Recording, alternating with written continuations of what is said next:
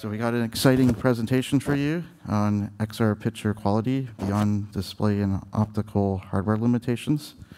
Uh, so I'd like to welcome uh, Eugene to the stage. Thanks.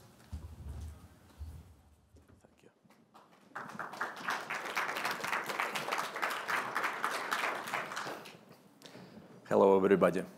Carl did really good job illustrating multiple problems, multiple hardware problems of head-mounted displays. So let's move on. there is a TED talk by a guy who spent an entire week wearing a virtual reality display. Can you imagine that? So when he finally took it off and got back to the real reality, his first thought was, what an amazing graphics. The entire idea of giving the users that inconvenience of wearing the displays on their heads is to immerse them visually in virtual or mixed reality, make them think and feel it's real. And so limited image quality and compromised visual experience do quite the opposite. They discern true reality from false picture and prevent the immersion. Oh, yeah, I should have clicked that. So uh, we have to admit that visual experience in VR MR is far from being realistic, despite all the investments in the hardware design. So are we somehow fundamentally limited? I run a computational imaging company, and today I will be talking about those hardware limits and novel computational methods to overcome those. And let me start with a little teaser. So this picture was uh, taken in HP Reverb G2, one of the latest and greatest VR displays nowadays uh, running uh, Microsoft Flight Simulator. The circle shows the user's gaze area, so we're gonna take a closer look at that. And the next image was taken in the very same device, the same hardware, but with some software improvements. So this is an improved version. Let me see if you can, yeah, you can see the difference on this big screen. Pretty pronounced. So I'm showing that not to turn the presentation into a sales pitch, but to illustrate the fact that even the best in class hardware has a potential to deliver higher image quality, higher comparing to what the makers of that hardware could have achieved themselves. We don't believe they didn't want to. So why? Uh, let's look at a simple display pipeline where the image is projected by the display through the lens. And this lens is very physically constrained. It has to be thin, lightweight, desirably inexpensible, and so it's just impossible by the means of optical design alone to achieve high optical performance. The image comes to the eye aberrated and distorted. And therefore, in every head-mounted display pipeline, there is another indispensable component, image preprocessing, aimed at compensating those lens aberrations and distortions. It applies, for example, channel prescaling opposite to lateral chromatic aberrations, or geometry pre-warp, opposite to the lens geometry distortions. And the idea is uh, that such pre-compensated picture being projected through the lens cancels out the lens aberrations, and the eye sees a picture that is almost correct. So the word almost is the key word here, because not everything can be corrected. I mentioned lateral chromatic aberrations. What about longitudinal chromatic aberrations? monochromatic aberrations, astigmatism, coma, the aberrations causing lens, lens blur, killing the resolution, none of that gets corrected. And moreover, where the eye moves off the optical axis, the entire optical path in the system changes, and so do the aberrations, and nothing gets corrected at all. So there is a gap between what can be displayed and what can be transferred through the optics to the user's eye. And with the display specifications advancing, uh, we want larger eye box, wider field of view, high resolution at the end of the day, and the optical design constraints still being in place and holding back, this gap increases and turns into a roadblock on the way to achieving high picture quality. The thin, lightweight lens simply cannot be clear enough to transfer that increased resolution. It blurs those fine details diligently projected to our eye by high resolution display. And moreover, even the best optical system doesn't work as designed when one of its optical elements moves off its place. In the camera manufacturing, the lens assembly tolerance is about 3 microns. Well, bad news, in every head-mounted display, there is an optical element that moves several thousand microns. That's the eye pupil. When it moves off the center, the blur and, and color fringing outburst. And at extremely wide angles, the picture gets completely ruined by fringing and blur. So simply increasing the display panel resolution doesn't work. A nice illustration of when it became apparent is Vive Pro, which had substantially higher resolution uh, compared to the original Vive, but it appeared that the users couldn't see much of a difference. One of the first review, reviews of uh, Vive Pro says much of that extra resolution is useless. Enough with the words, let's measure. So we're gonna be measuring the resolution across the entire field of uh, gaze angles. And here is the map. So it's uh, MTF20. The value is 0.5 is the ideal value. It means 100% of the displayed resolution got transferred. And what we can see here is a small high resolution area in the center. And that's pretty much our VR experience. We always know that there is, there is a small, good quality area in the center. What our VR experience doesn't tell us is that the measured visible resolution in that area is only about a half of what was displayed. And around that area, there's a much bigger area with about quarter of resolution being transferred, and outside of that, it falls off to one-tenth and even lower. And this is pretty much the state of the art. So with those physically cons physical constraints, can we improve the component that is not physically constrained, the computational component? Can we switch from simple transformations like channel scaling and fixed geometry pre-warp to some sophisticated transformation, holistic transformation that addresses, compensates all of the aberrations of the lens, including monochromatic aberration and higher order aberrations, and works at every eye position at all gaze directions. So uh, that girl in glasses, you know what she thinks when she looks at those complicated formulas? Two words, machine learning. Uh, we can display something and capture how it looks like, okay? So this is, by the way, a real example. You can see a drastic difference. Uh, so we know what was displayed. We know what was seen. Can we reverse that? Can we calculate an image that we could have displayed so that when it got transferred through the lens, it would be seen as close as possible to the original one? Actually, can we come up with a transformation that for every source image would calculate such image with precompensation for all aberrations so that, oh, sorry, so that when it gets projected, the user sees the picture that is as close as possible to what we want them to see. Uh, so we use those reference charts and captures and eye positions as a huge data set for neural network training.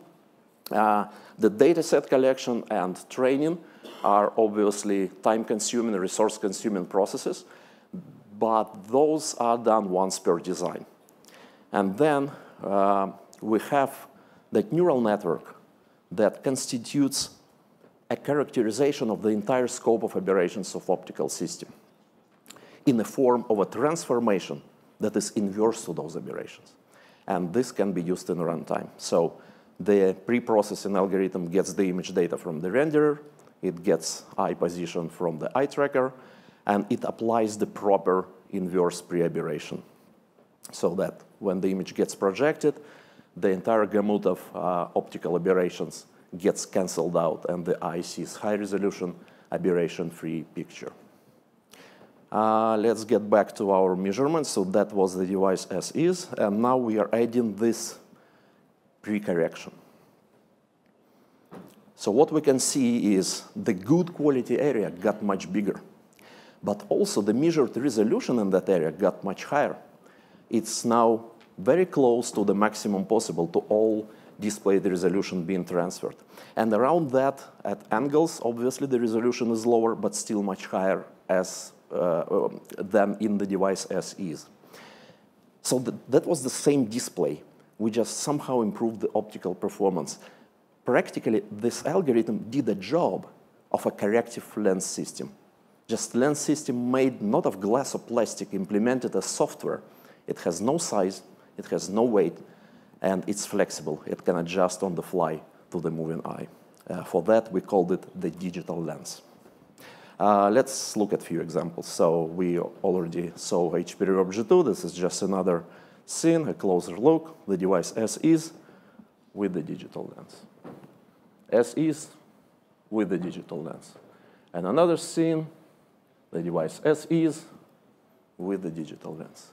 You cannot read it, now you can. Drastic difference. Uh, let's move on to high resolution displays, Varjo. Varjo advertises so-called human eye resolution, which means that the pixel density is, uh, matches or exceeds the resolution capability of the eye. But can that high resolution be transferred through the optics? So we use this uh, architectural drawing with uh, fine details and high contrast as a test picture, uh, a closer look at the original, and now here's how it looks like in the display. Look at that blur, look at that fringing. Human eye resolution was displayed, but got lost in transfer. And so even closer look, and now we are adding that new corrective software. With, without. Look how much more readable, how crisper the picture becomes. Even closer look, as is with the digital lens. Without, with. So now the human eye resolution got to the human eye. Another factor of uh, visual experience is so-called pupil swim, the geometry deformation when the eye moves relatively to the lens.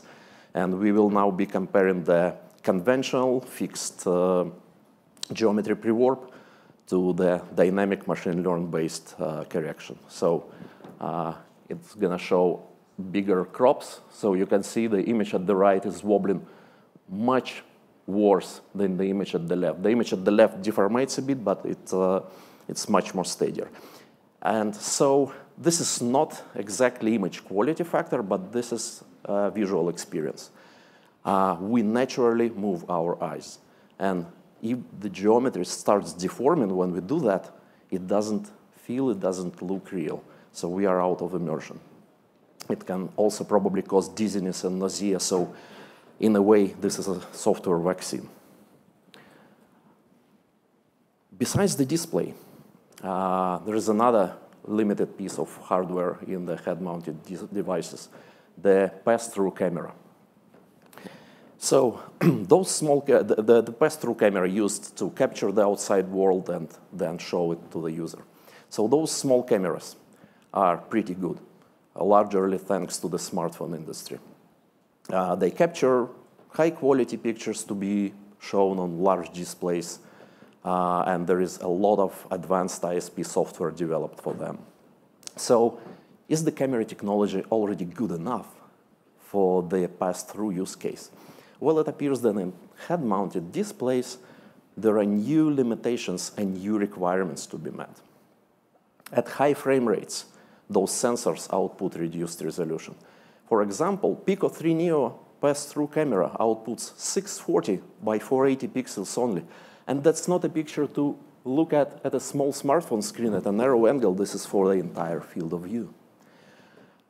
Uh, a requirement, zero noise toleration. We used to see noise in pictures and videos captured by cameras. We can blame the capturing device. It was not so good, so the picture is noisy. But when I'm immersed in mixed reality, my eyes become the capturing devices.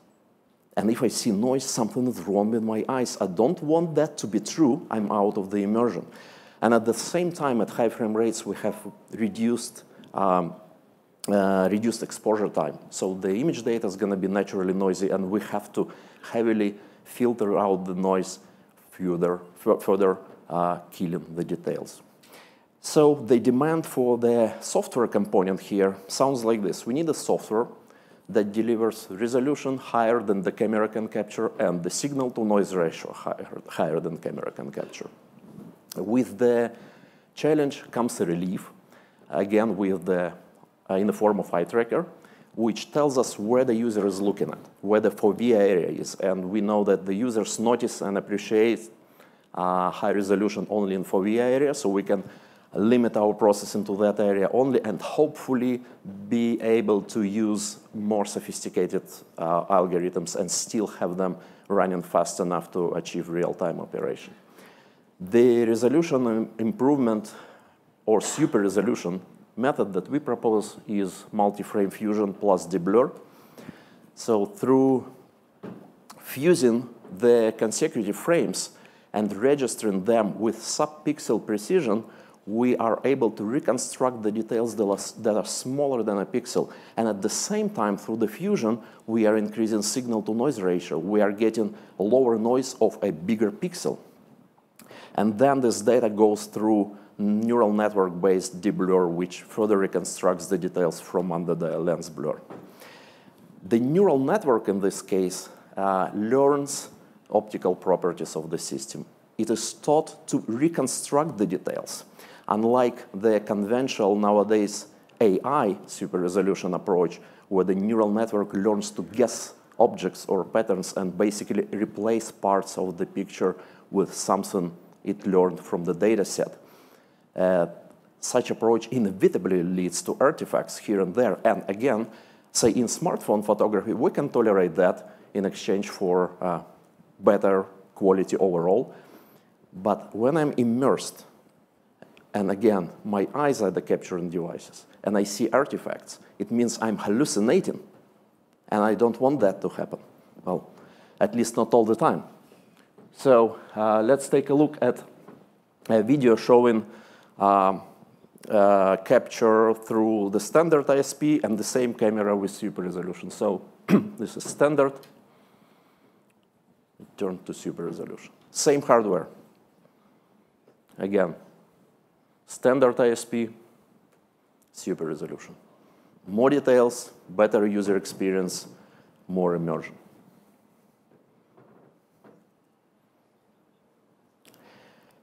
So to conclude the presentation, uh, using software to overcome hardware limits is, is a trend, is a huge trend nowadays. People do amazing things with that.